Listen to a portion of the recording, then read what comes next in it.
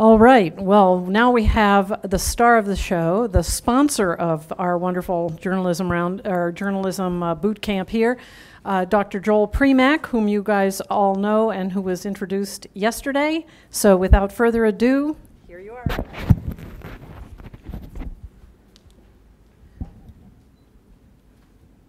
Fortunately, uh, we've had many stars of the show.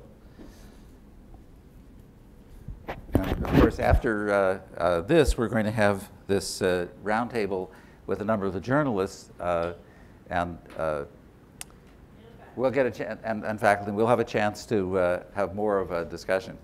So what I'm going to do is talk about simulating galaxies and the universe.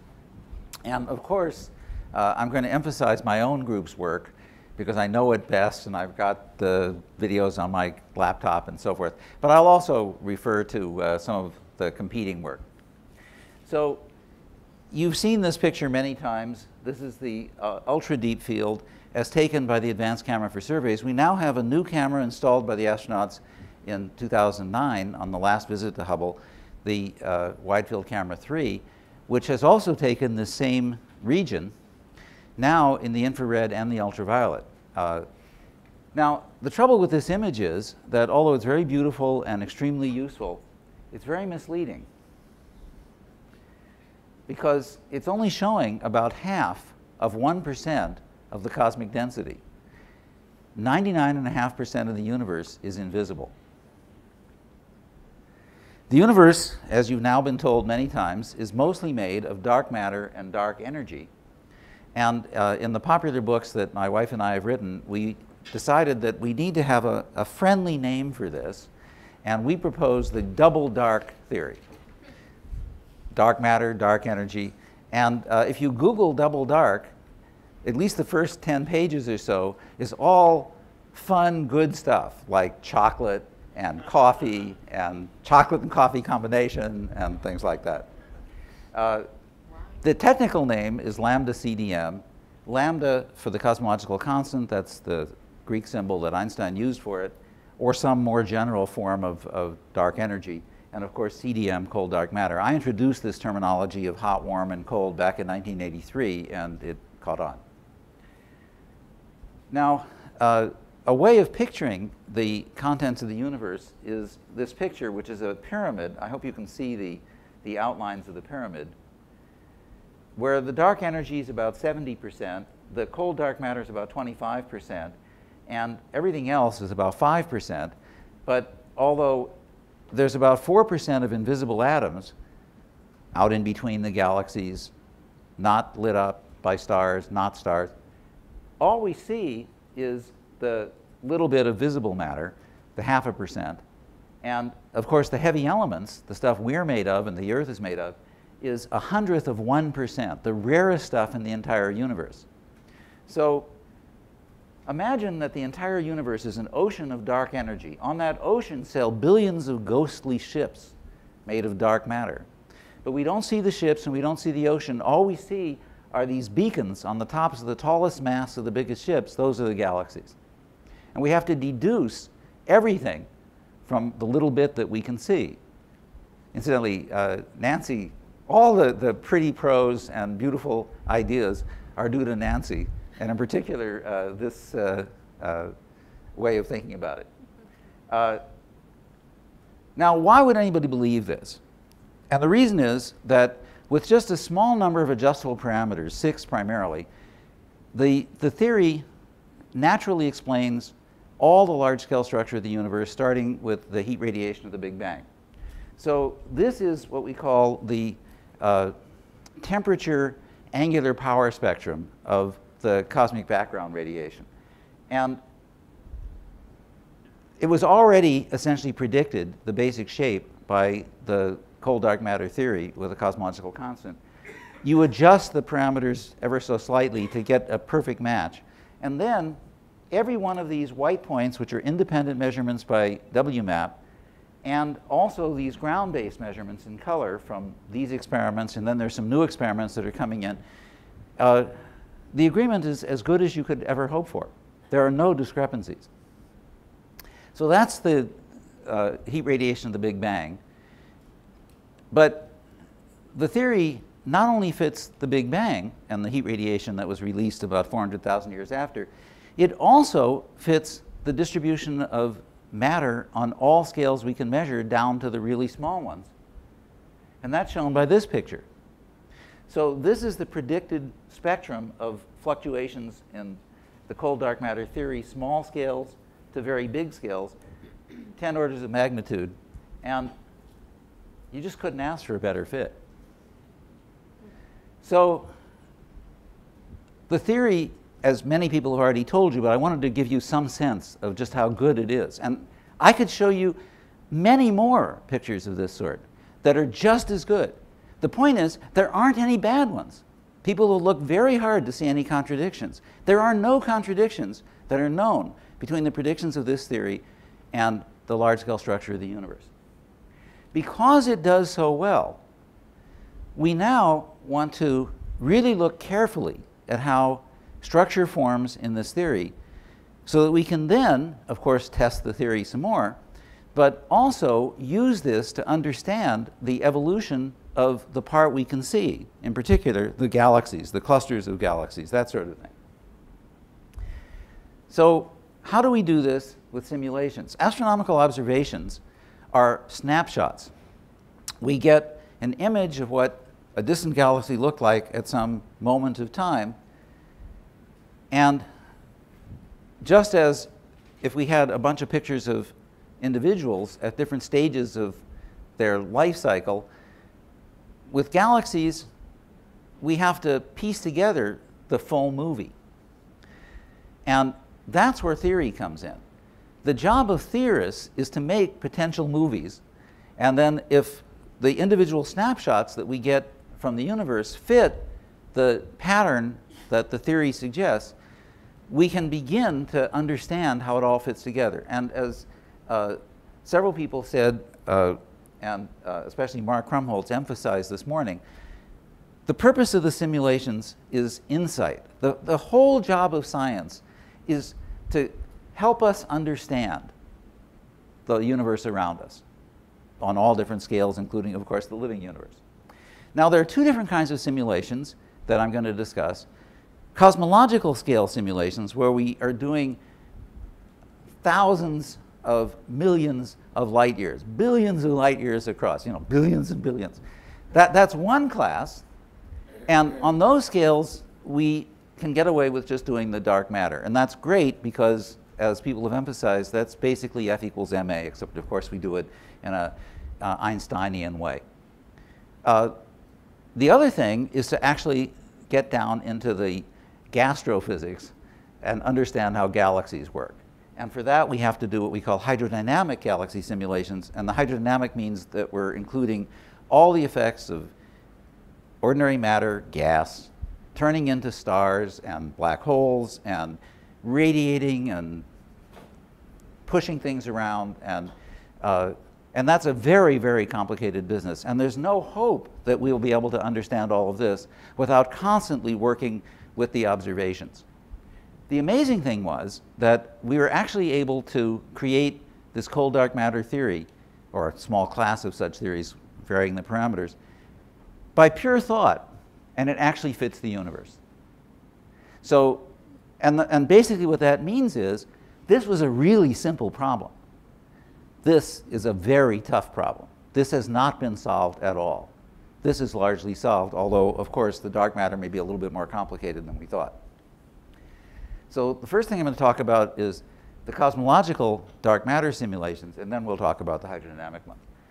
Uh, the uh, drunk on the stoop is saying to his friend, quarks, neutrinos, mesons, all those damn particles you can't see, that's what drove me to drink. But now I can see them.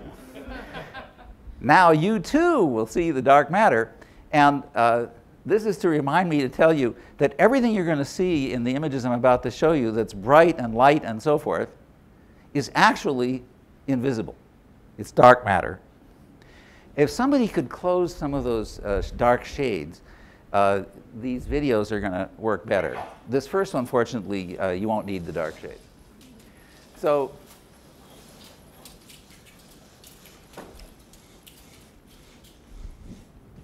Uh, is the sound on, Will? Because there's actually music that goes with, oh, actually, that may be my computer that's the problem. No, actually, so it's not putting out, I've connected the sound. Okay, it's not crucial. Let, let me run this back again. So what this is, is a little region of the expanding universe that's going to make a galaxy. And it's expanding and expanding and expanding, and now it's pretty much stopped expanding in the middle, see? And now it's actually starting to fall together. This little blob is still flying away. Some of this stuff is actually heading in. So that's what it looks like in the expanding universe. Previously, you've seen a number of simulations where we're taking out the expansion, not showing you the expansion. This one's nice because it shows you the expansion. Okay, so that's now reached the present moment. Is there uh, a possibility to turn on sound, Will? I know it's built in. Oh, no, no, don't do that. well, you just put on TV. Let, us go back to the computer. Uh-oh. You asked for too much. I know. Ugh. Like Icarus, you flew too close to the enemy sun. That's right. You Okay. notice there was no sound with the TV either. Yeah, okay, let's forget the sound. There's some beautiful music that Nancy wrote that I want you to hear, but all right. Okay, no, no sound, but uh, can we get back the, uh, the video? So anyway, what happened is that the central region, the one that stopped expanding, reached this roughly 200 times the background density. And it decoupled from the expansion of the universe. The rest of the universe continued to expand. It stopped expanding. And what that means is that the universe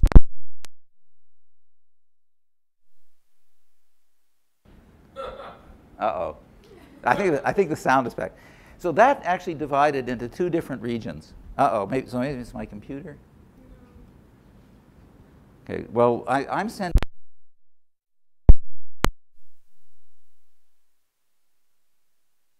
different regions, which Nancy proposes that we call tame space and wild space. You've all heard people use the term outer space. All that means is above the Earth's atmosphere. Not a particularly useful distinction. But tame space is the space where gravity is in control. Those are the regions that aren't expanding anymore. Wild space is the region in between the local group of galaxies, other little groups of galaxies and clusters of galaxies, the regions that are bound together by gravity. And the wild space is being torn apart by the dark energy, which is becoming increasingly important because as the universe expands, the dark energy seems to be a property of space as far as we can tell, and there's more and more dark energy as there's more space. But the matter just thins out.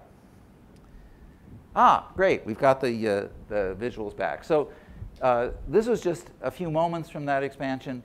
This is the end of expansion for this halo. This is tame space, that's wild space. Thanks, Will, I think the, the picture's okay. So now, uh, how big is the Milky Way galaxy compared to this beautiful Aquarius simulation by Volker Springel and colleagues?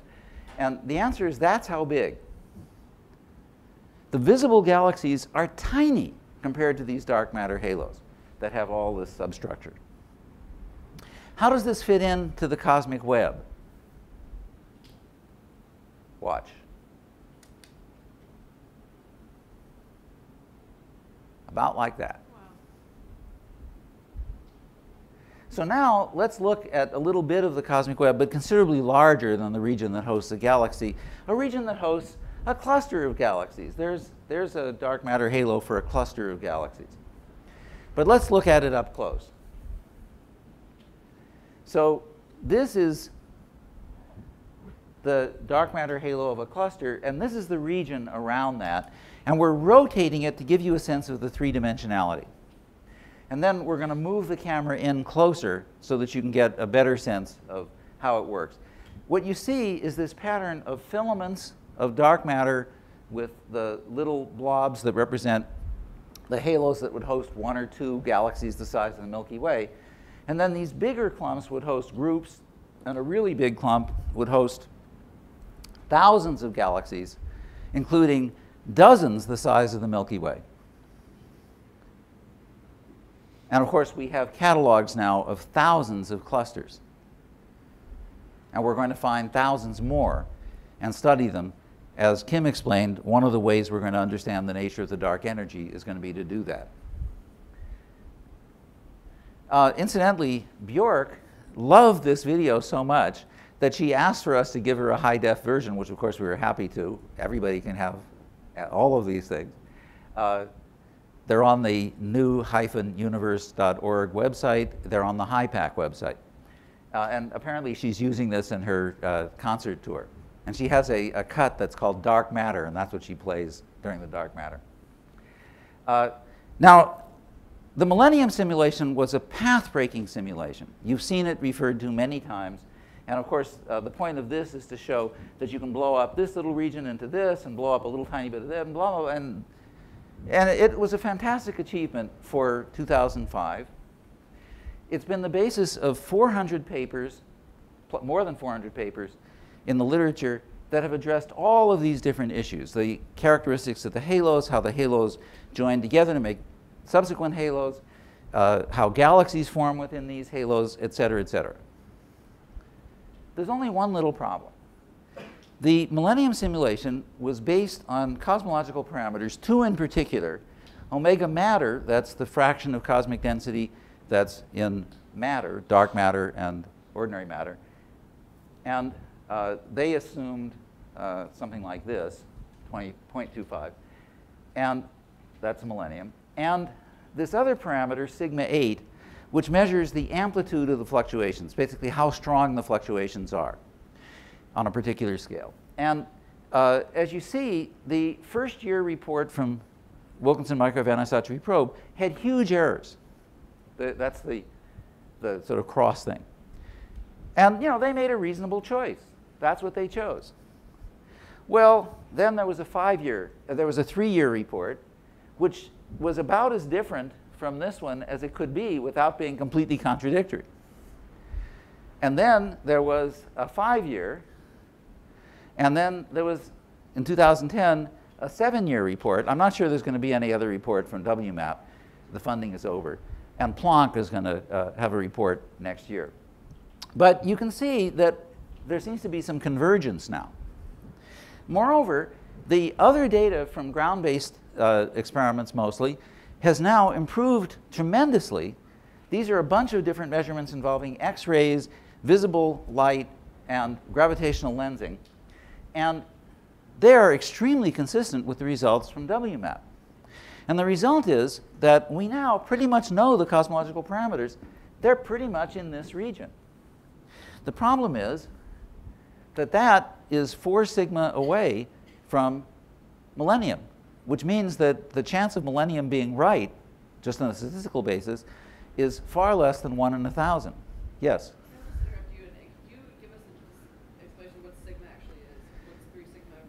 Okay, here's the actual technical definition. In linear theory, it is the fluctuation amplitude, which Oh, I'm sorry. All right. That's sigma 8. Okay, error bar sigma, that means that there's about a 68% chance, statistically, that the truth is within that, uh, that circle. That's a 3 sigma? That's 1 sigma. 1 sigma, okay. Okay?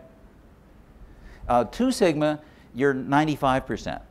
3 sigma, you're 99 point something percent. Okay? 5, uh, anyway, the, the point is millennium is wrong. There's simply no question. It's just wrong. And uh, the person, the sort of senior person, uh, Simon White, is extremely stubborn, and they continue to use these wrong parameters. And what it means is that although people told you that there's fantastically good agreement between millennium and large-scale structure, when you look carefully, there's not. And uh, the papers that they've put out, their most recent paper, Guo et al., Guo White et al., which I was the referee of, uh, admits that they're predicting that the number of galaxies like the Milky Way that are separated at a distance of about 3 million light years is off by a factor of two from reality.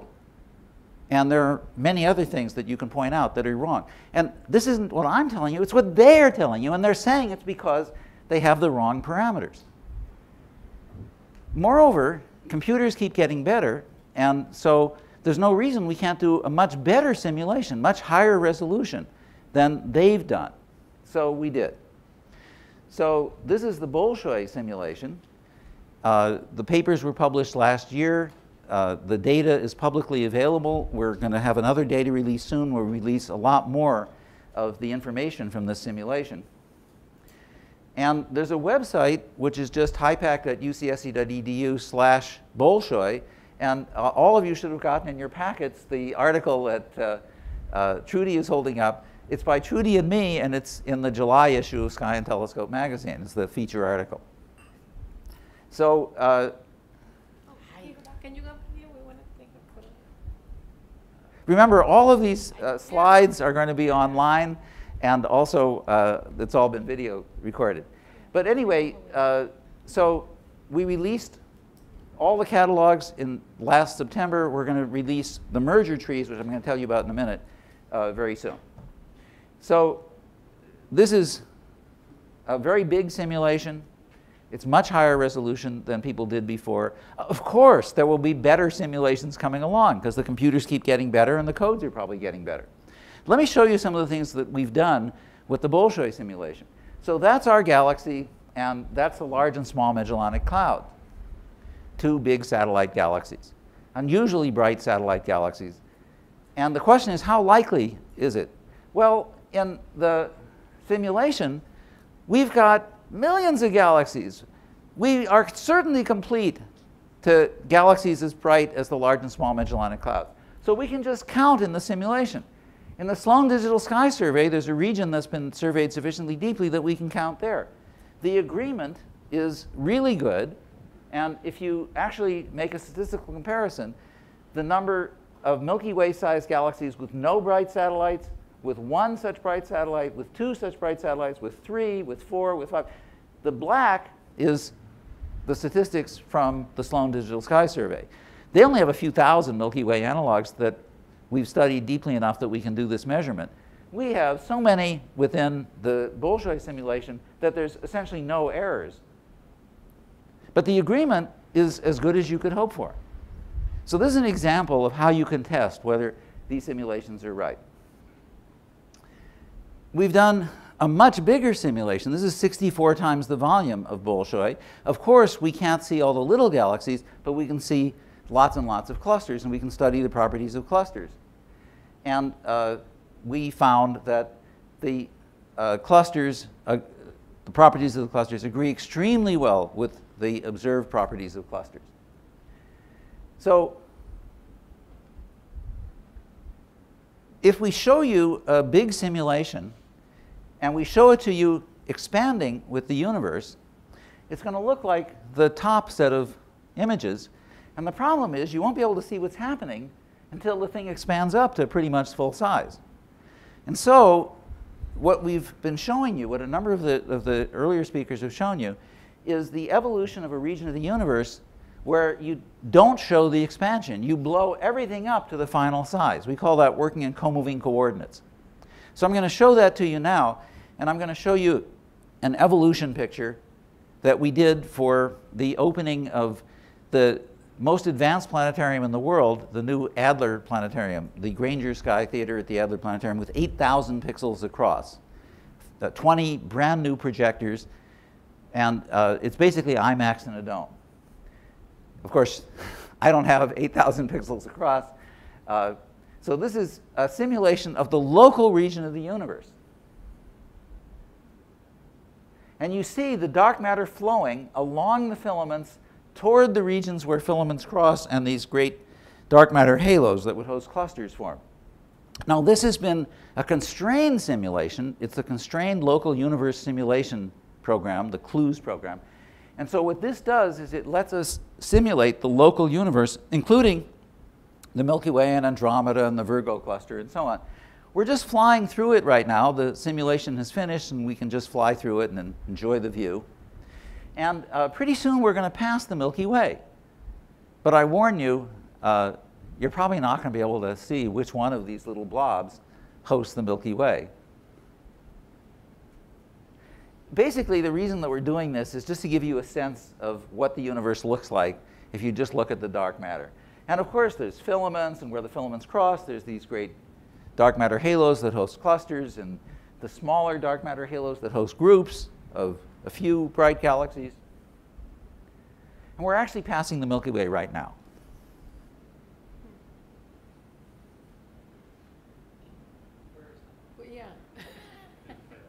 Since you asked, Yeah. Oh, Okay. So let me just show you. This little guy is the dark matter halo that hosts us. That little guy is the dark matter halo that hosts the Andromeda galaxy. And this little guy is actually a foreground interloper and has nothing to do with it. It just happens to be along the same direction.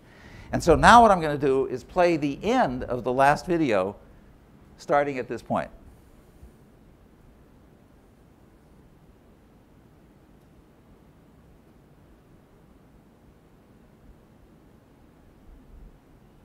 Okay, so there it was. There are actually reasons why it's interesting to set up the simulation so that it actually pretty close represents the local region of the universe. You can make predictions that are more specific to being tested locally. So that's one of the reasons we did this. Just for the computer uh, uh, aficionados, we stored 7,200 time steps of a billion particles each. That's 340 terabytes of data. We dumped that data in about two days. It took about 200,000 CPU hours to run this little simulation, which is peanuts compared to the Bolshoi simulation, which took about 10 million CPU hours altogether. Uh, we did this so that we could show, uh, I think it was three minutes of uh, 30 frames a second with no interpolation. Now, what this shows is something quite remarkable. Every one of these little blobs is a dark matter halo that's all going to end up inside one big cluster.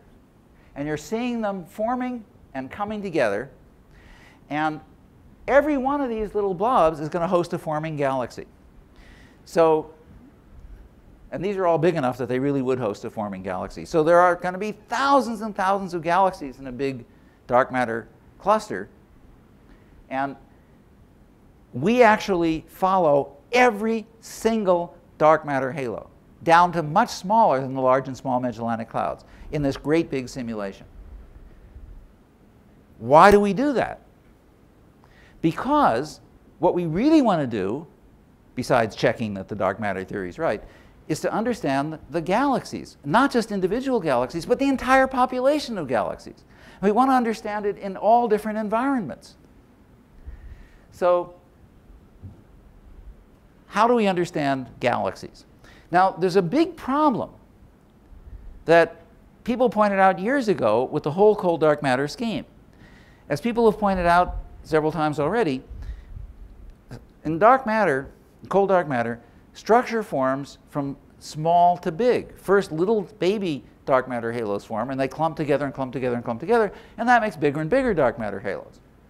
But when we study galaxies, we find that the biggest galaxies host the oldest stars, which means that the stars must have formed earliest. Isn't this exactly the opposite of cold dark matter? And the key to understanding that no, there's no contradiction is in this picture, which was actually in the original cold dark matter paper by George Blumenthal, now the chancellor at UCSC, Sandy Faber, whom you heard last night, me, and Martin Rees, who recently retired as the president of the Royal Society of England. So this was published back in 1984, and it's our, it's our big cold dark matter paper. And this was figure three. And I can't go into the details in the small amount of time we have, but under these so-called cooling curves is where you expect galaxies to form. And outside the cooling curves is where you expect to have groups and clusters of galaxies. This was the data on groups and clusters that was available when we published this paper in 1984 from the very first sky survey that had redshifts and so on. And this was the data on galaxies. And what you see is that the galaxies are basically in this band. This is 10 to the 8 solar mass halos, 10 to the 9, 10 to the 10, 10 to the 11, 10 to the 12. You see the numbers here. Basically, what you're seeing is that galaxies have to form below the cooling curves, but they don't form efficiently until you're up to about 10 to the 10 solar masses. And that turns out to explain the whole story for the following reason. if you have a star forming band that starts at about 10 to the 10 solar masses and goes up to about 10 to the 12 solar masses, our own galaxy's halo is about 10 to the 12 solar masses. What's going to happen is, as the dark matter halos grow in mass, as time increases this way, remember, everything in astronomy is backwards, so we always plot everything in a funny way. You always have to pay attention. So what's going to happen is that the dark matter halos are going to cross that band, and then they're going to keep growing, but you aren't going to form any stars because you're above the mass where stars will form. So massive galaxies start forming stars early, like that purple curve. They shut down early. They're red, meaning their power, the light's mainly coming out of old red, red giant stars. That's most of the light in those galaxies comes from. So they really are reddish. And they populate dark halos that are much more massive than their stellar mass. Whereas small galaxies, that cyan curve, start forming stars late because they only enter the band late. They're still making stars today. They're blue, which means they have these bright young stars that only live millions of years, but put out a lot of energy in ultraviolet and blue. And they populate dark matter halos that match their stellar mass. And this is the natural explanation why we see this so-called downsizing phenomenon, namely that the oldest stars are in the biggest galaxies. Star formation is a wave that starts in the largest galaxies, like galaxy halos, and sweeps down to smaller and smaller ones. So we build all of that plus a great deal more shock heating and radiative cooling, uh, ionization, merging, star formation, supernova heating, et cetera, et cetera, et cetera, into our model that we, that's sufficiently simplified. It's one of these semi-numerical or semi-analytic models that we can follow millions of galaxies in all these dark matter halos simultaneously. We use the merger tree, all the different things that merge and merge and merge to make one object today. And we do this for every single dark matter halo in a large region. And then we can populate the dark matter halos. Now, this is a very funny diagram from, this is from a paper that was just submitted a few days ago to publication and put on the archive so anybody can read it. Guillermo Barro et al. This is the latest data from Hubble Space Telescope, the CANDELS survey, more about that in a few minutes. And this is diffuse galaxies, compact galaxies. Blue means they're star forming, red means they've stopped forming stars. Compact, diffuse. High redshift, lower, lower, lower, lower today. Well, not quite today, but nearly late universe. So you see a certain pattern of motion and mainly what you're seeing is that you have a lot of these diffuse star-forming galaxies that make more and more compact star-forming galaxies, which quickly become, it turns out, compact non-star-forming galaxies. And the amazing thing is that our semi-analytic model that was tuned to match the nearby universe basically sees exactly the same phenomenon. And to give you a sense of how this works, this is how the galaxies move around in this picture. And we can, because we can follow, you know, thousands or millions of galaxies, uh, this is a special subset of the galaxies that we, that we chose to follow. And we can see exactly what's happening, whether they're merging or whatever. Thank you. So in the paper, what we're discovering, using this new data from Hubble Space Telescope, is that there seems to be two ways that galaxies move around in this size, mass, star forming, and non star forming picture we have the fast track and the slow track. I, I, suggested this terminology, which my observational colleagues picked up on. So the fast track, you get a big diffuse galaxy, which for some reason, for example, galaxy merging, becomes a very compact star-forming galaxy, which then becomes quiescent. In other words, it stops forming stars very quickly. And it ends up here as a diffuse, somewhat extended galaxy, because of minor merging. Lots of little things join on. The smaller galaxies, the smaller mass galaxies, also start out as diffuse, and they just stop. They run out of gas, and they end up in that same place. So this is the kind of thing where when we, when my graduate student, Lauren Porter, showed this to the experimentalists, to the observers, and, and also uh, this thing a couple of weeks ago, the observers were absolutely flabbergasted. They had no idea that we could make a model that could actually help them understand the way the galaxies evolve. So, uh, and of course, we were somewhat shocked and surprised too, but in a very pleasant way. So, of course, we're going to be writing papers and following up on this and seeing, you know, where the model fails. And so, now I want to talk more about where we actually put a huge amount of computer power into just simulating a small number of galaxies, but including all of these phenomena, and not doing it by really rough approximations, but by better approximations. But of course, as uh, several of the speakers have emphasized, we always leave things out because there's just a limit to what uh, you can, what we understand, what we know how to program, and what we have computer time for. So this is a famous example of two colliding galaxies. It's the central region of, of this image, and uh, it turns out this is the center of one of the galaxies. That's the center of the other galaxy. But practically all the action is occurring in here. There's a lot more star formation occurring here than any place else, but you can't see it because it's obscured by dust. And this is very common. Dust is extremely important. It's, of course, also what we're made of. So we developed the most advanced code in the world. This is my former student, Patrik Jonsson, who, after he finished here, went to Harvard and just quit three weeks ago. He still has his NASA support to join SpaceX as one of their senior programmers.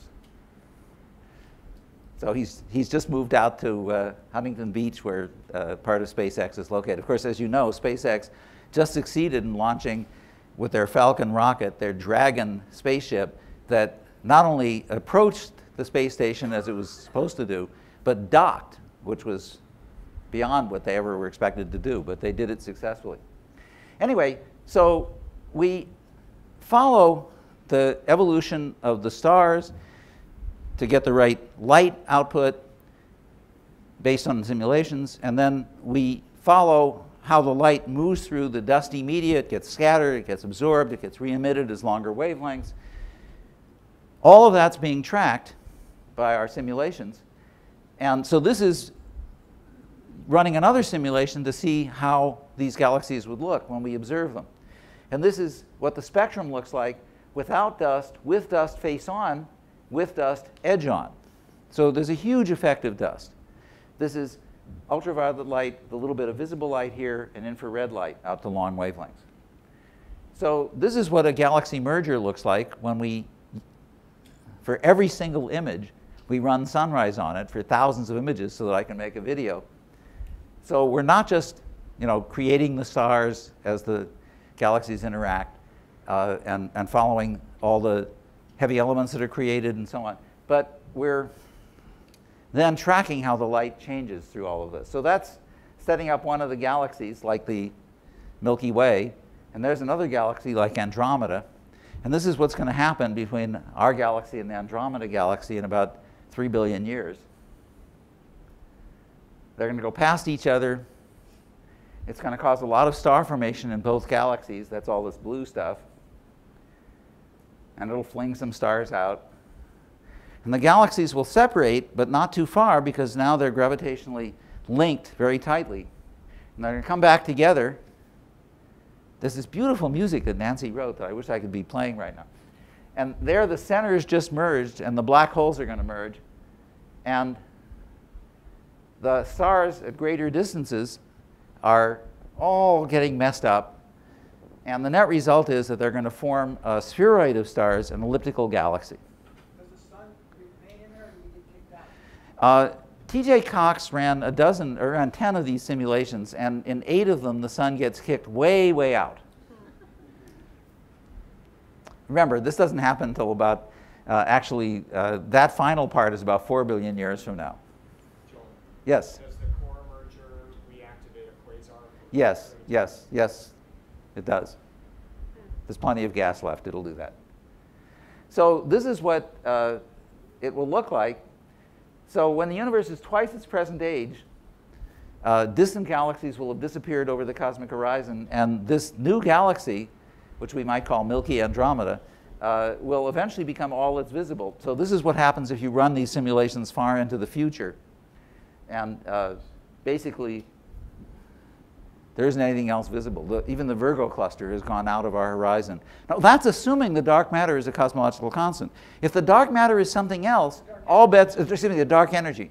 If the dark energy is not a cosmological constant, it could cause things to expand faster or slower, or even reverse the expansion and start.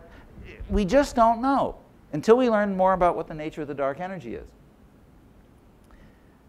Um, this is just to say that uh, Patrik Jonsson and I published this paper two years ago that explained how you can run simulations like the one I just showed you, the, the, this processing by the dust, 10 times faster using graphic processor units, these special gadgets that come on big computers. And this is an example of some of our other papers uh, where we've uh, simulated galaxies and compared them to real galaxies, and, and they really look very similar. So we can use techniques to measure the number of galaxy mergers by looking at what the weird things look like and how long you'd see galaxies that look like these weird things.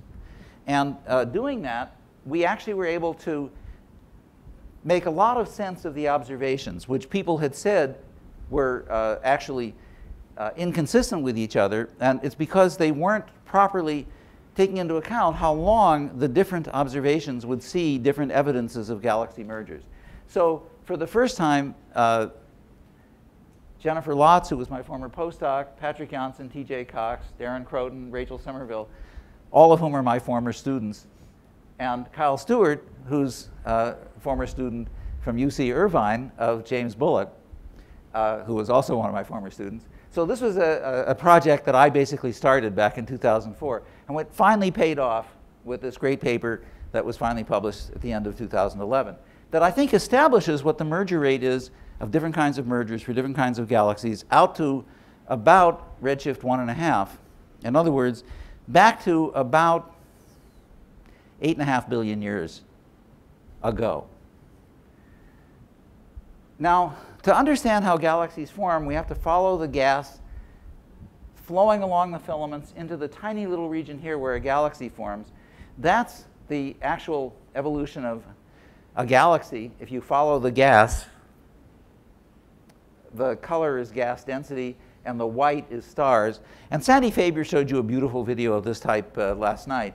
So what I want you to understand is that we're doing dozens of these simulations. We've already done dozens. We're, we have 40 in the computer right now. Each one runs for about six months. If we use sunrise, and every 100 million years we take a snapshot of what the uh, galaxy looks like, this is one of those galaxies, this is what it looks like. And you see it changes a lot because the galaxy is getting hit by various things. And uh, you know, when you see this blue stuff, that means a bunch of new stars form. Those new stars only last a few million years. We're storing many, many time steps, but it's expensive to run the sunrise code on this, so we're not visualizing all of them. But, you know, pretty soon you start to see things that look like nearby galaxies that you're familiar with. Okay, well, you get the idea. So this is uh, image of the central region where a galaxy is forming. This is a blow up of this galaxy from one of those simulations. This is face on. This is the same galaxy now looked at edge on. And this is the same galaxy, but now looking at what it would, this is the gas, this is the stars. Now that's a real galaxy from a Hubble image. This is this galaxy now looking at it face on, but now looking not at the gas, but at the stars. This is another Hubble image of another galaxy. Of course, you can't see this galaxy with Hubble at the same time as you see it face on. You know, you only get one view. But we get lots of galaxies. This is gas. And we've written a paper where we analyze the gas and determine what we'd see if we see quasars looking through the different points of the gas. And we have lots of examples of those observations, so we've mocked that up. So this is the CANDELS survey. CANDELS is a powerful imaging survey of the distant universe being carried out with the two most useful cameras on Hubble Space Telescope. After the astronauts put the Wide Field Camera 3 on Hubble, there was this huge competition to get enormous access to Hubble, and we won. Sandy Faber wrote the leading proposal.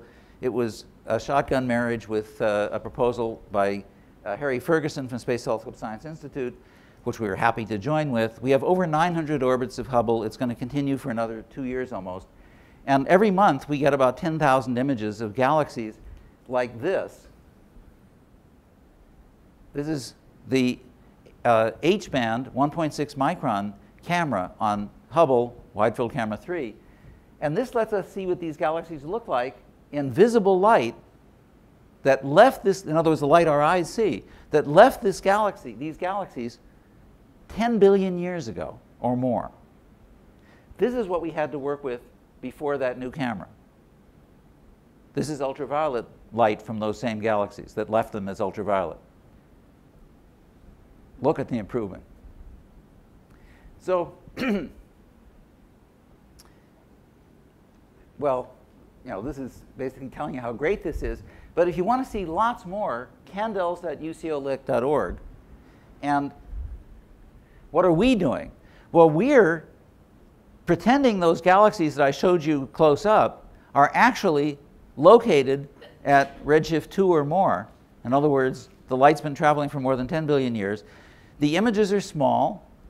The telescope has finite resolution, not space telescope, but still, these are these fine, fine, you know, little baby images that you saw in the ultra deep field, for example. And this is what uh, they look like if we don't include dust. And when we include dust, it has a big effect. So these are the simulated galaxies, and with noise and so forth added. This is H band. This is what we would see with the advanced camera for surveys. And of course, we have all the data in all these bands. And now what we're trying to do is to figure out how to compare these thousands of images that we're making with the many thousands of images that we're getting from space to see, first of all, if they're similar enough that we can use the simulations to help us understand the galaxies. And then second of all, to really do a detailed comparison. We're doing it many different ways. We're using computers. We're using human observers, professional astronomers. We're using 100,000 volunteers. The Galaxy Zoo project is going to help us out. They have agreed to take our artificial images mixed with the Hubble images, and we don't have to tell them which are which. We know, but they don't know. And they're classifying all of them. And you know, there are so many of them that they're going to classify them as fast as we give them to them. So uh, it's going to be a great uh, project. To summarize, not just this talk, but a lot of what you've heard, the big problems we're trying to solve are the nature of dark matter, the nature of dark energy, which determines the future of the universe, the early evolution of the universe, the form formation of the first tiny galaxies and the first stars, how the universe reionized. Steve Furlanetto talked about that earlier today. How the entire population of galaxies forms and evolves from direct observations interpreted with the help of cosmological simulations, including star formation and feedback, formation and feedback from supermassive black holes, et cetera, et cetera, et cetera. This will keep us busy for quite some time. And of course, we'll have various progress and lack of progress to report, and this will be something that I think you may find interesting to cover. Thank you all for coming. I think this has been great fun, and uh, I hope uh, that we can do it again. And thanks especially to Trudy Bell, Sue Grasso, and Nina McCurdy for all of the work organizing it. Of course, it was Trudy who conceived of this and has been the main driving force. And thanks to the University of California providing the funding.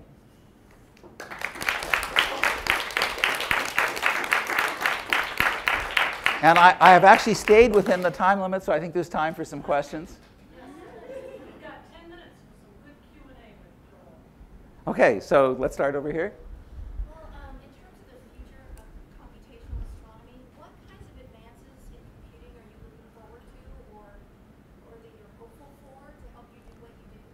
Well, as I said in that very first talk, uh, we hit the wall on increased speed back in 2004, but the answer has been to just put more and more uh, cores and put them in fancy ways on processors uh, and uh, graphic processor units and other new gadgets. And there's every reason to think that we're going to, in fact, be accelerating even faster in the speed of the upcoming computers.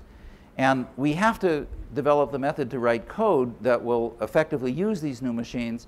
And that's mainly an, a money issue. We have to convince the funding authorities that instead of just putting all the money into hardware, Uh, they have to start putting money into letting us use the hardware effectively. But uh, we're going to keep tackling problems that were impossible to tackle until quite recently. Uh, what Mark Krumholz was showing you with star formation is, I think, the toughest problem in cosmology, in fact, in astrophysics. Uh, and there's been huge progress recently, but there's still a lot of the physics that's been left out. And uh, please don't misunderstand, when we're doing the galaxy formation, we are fudging the star formation part because it's what we call subgrid physics. But we have to understand it better, and it's the kind of simulations that Mark described that are going to be crucial for understanding it. Uh, the more powerful the computer, the wider the range of scales we can simulate in a physically meaningful way.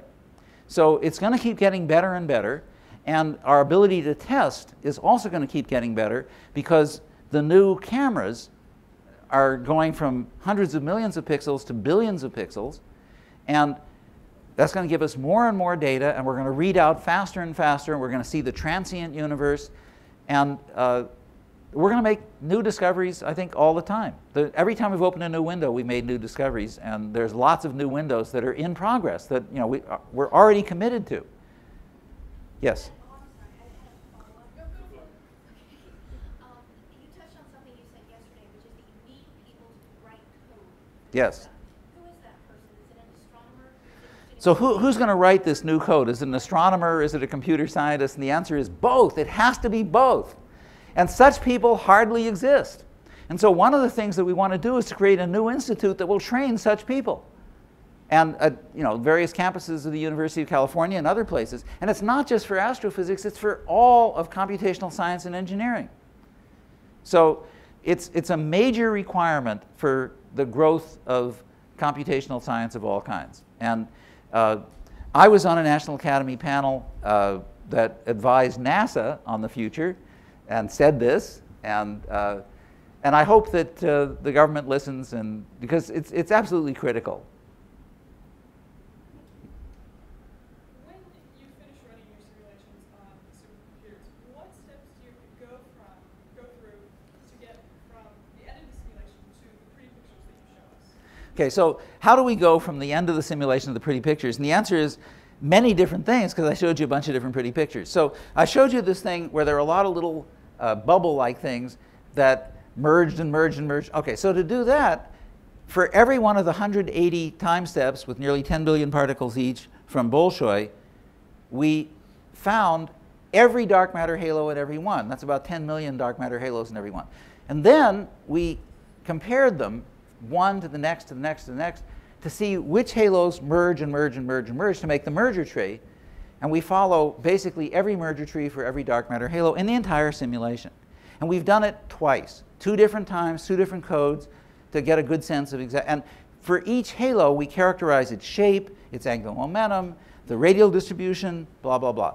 And all that data has either been made public or will shortly be made public.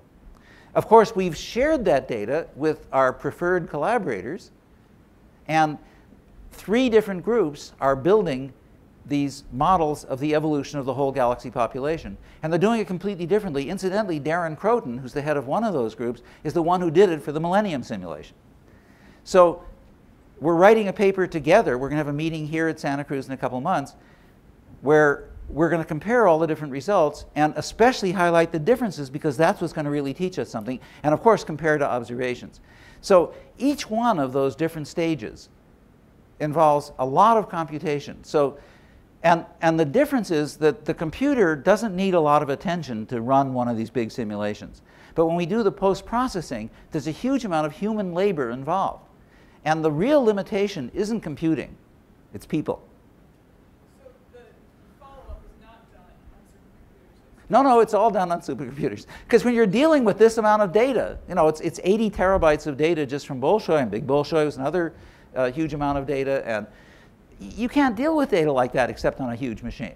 So of course, yes, it's all done on, on really powerful machines.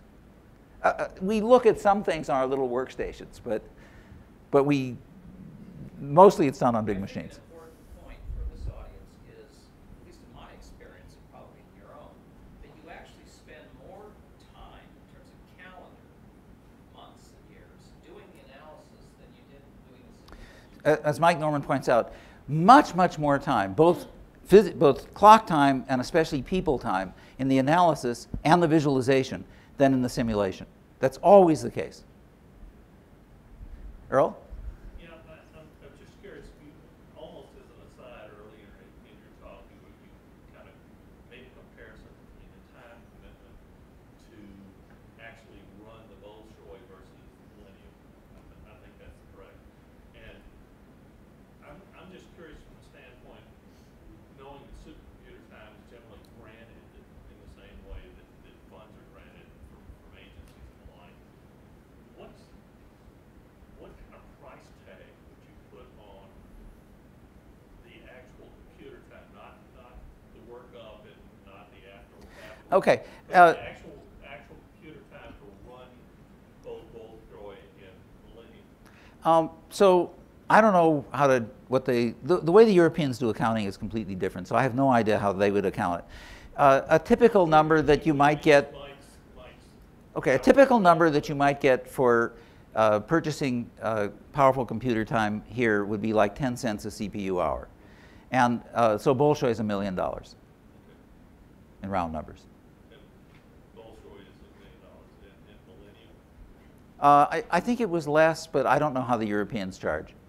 The difference is they own their own supercomputer at the institute that, that ran that It's simulation. probably the same because um, it was the biggest simulation you could do at the time. Yeah.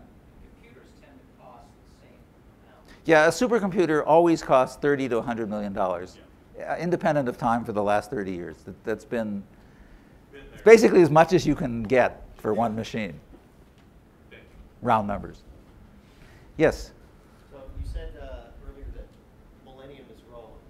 Would you say the same of Millennium 2, or is that different? Millennium 2 was run with the same uh, uh, cosmic parameters. As I say, Simon White, the chief of the project, uh, is very, very stubborn. And, uh, and they're running another one called Millennium XXL, which is, I think, a 50 billion particle simulation. Same wrong parameters. Uh, which, you know, on the one hand, as a scientist, I think is ridiculous, but as a competitor, I think is great. Did he give a reason for why? Yeah, their, their reason was that they wanted to be able to compare the simulations and use the Millennium 2 is the same number of particles in a volume that was 125 times smaller. So much higher resolution. And they wanted to be able to directly compare them. But they made their data public just the way we make our data public, and we did a consistency check and we showed they were actually not consistent. Whereas we did the same check on our simulation, and Big Bolshoi and Bolshoi are perfectly consistent. But, you know, uh, there will be new simulations coming along. Mike mentioned a huge simulation. I don't know the characteristics of it. But, you know, we've got competitors. I hope they write, they do better simulations because the field needs, you know, better and better. Yes? This is, I guess, a bit of a funding question, but also a priorities question. So if the, if the bottleneck is at, is at analysis and getting people to actually look at these numbers, how do we justify to general public that we need to be building more things and getting more data? If we can, if we're still kind of bottlenecked So- so- the that we have. So the question is, since the bottleneck isn't the machine time, it's the analysis time, which is really people time, how do we justify spending more money to get the big machines? Uh, and the answer is that we have to spend money not just on the big machines, but also on the people to use the machines efficiently and to analyze. And, you know, So the, or the, or the additional detectors to, to get more data. I mean, I guess. It's because the new detectors, they don't just give us more data, they give us different data, which is usually better data. So, for example, Wide Field Camera 3 is giving us this fabulous infrared data that's letting us see what the galaxies look like in the visible light, which is so useful to characterize them, out to the early universe. And James Webb Space Telescope is going to do even much better. It's a much bigger telescope, it goes further in infrared. Uh, so, it's not just that we're getting more data, we're getting different data large survey, large synoptic survey telescope, it's going to give us this cosmic uh, video. Uh, I think you're asking a balance question. Well, I guess that's, it's kind of like, when, when you write an article, you know, one year, and it's, it's the same question that, that you're asking five years, there's a, there's a feel, and James and I were talking about this yesterday, that, that there's this kind of pyramid scheme that we're selling to the public that you just have to keep buying into. And of course, that's the progress the. Well, okay, now look, the, the weird thing about cosmology and astronomy in general is that it is absolutely useless. And yet, The context for that? no, no, I mean, it has no economic value whatever, which is the reason that I can say proudly that our data is non proprietary. We love to make it public. NASA requires that we make it public. This is great because it has no commercial value. But But nevertheless, governments all around the world, the Chinese government, the Indian government, the Japanese government, the American, the Europeans, are spending billions of dollars a year to give us these wonderful new instruments. It's like the cathedrals of the present era. Uh, this shows that somehow the human race really cares about cosmology. Maybe it's because of what Sandy was saying last night, that in some sense astronomy is really important to the way we think about ourselves. Maybe it's because of Carl Sagan, who popularized astronomy so effectively 30 years ago. Whatever the reason, as a professional in the field, I am incredibly grateful. Uh, and, and I'm also tremendously grateful to the news media for popularizing the work that we do, because without that, there's no way that we'd get the kind of support that we do. This has been a fantastic era in the history of astronomy. There's never been anything like it. We keep calling it the golden age because we are making these fabulous discoveries dark matter, dark energy, but we still don't know the nature of either one. So we have, every time we learn something new, we get these wonderful new questions. And I keep telling my students who sometimes worry that we've discovered too much and there won't be enough left for them, don't worry. All the biggest questions are still left. And incidentally, I didn't even list the really big questions. Why is the universe like this and not like something else? Why is there so much dark matter and so little ordinary matter by comparison, et cetera, et cetera. And why so much dark energy? We would love to know. We don't know even how to answer a question like that yet.